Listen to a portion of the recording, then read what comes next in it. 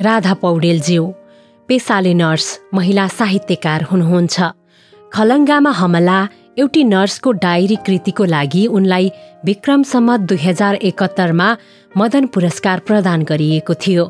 उहाँले राधा पौडेल फाउन्डेसन मार्फत मर्यादित महिनावारी अभियान नेपाल र दक्षिण गोलार्धीय मर्यादित महिनावारी सञ्जाल मार्फत मर्यादित महिनावारीलाई विश्वव्यापी अभियानको नेतृत्व गर्दै आउनु भएको छ।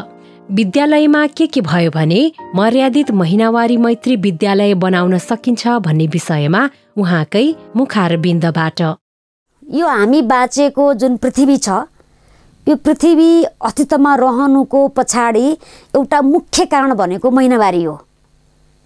यो महिनावारीका बारेमा हामीले खुलेर जति बहस गर्छौँ त्यति नै सजिलो हुन्छ। त्यसै कारणले गर्दा म मलाई हरेक विद्यालयले आफ्नो भित्तामा महिनावारीको रगत पवित्र रगत हो शुद्ध रगत हो अर्थात् मर्यादित महिनावारी मैत्री विद्यालयमा स्वागत छ भन्ने खालको भनाइहरू लेखेर टाँसिदिनु भयो भने त्यसले विद्यार्थीहरूलाई अथवा विद्यालयमा आउने जोसुकै व्यक्तिलाई दिने आत्मविश्वास त्यसले चाहिँ निर्माण गर्ने सोच चाहिँ फरक हुन्छ मानव अधिकार मैत्री हुन्छ भन्ने विश्वास लाग्छ।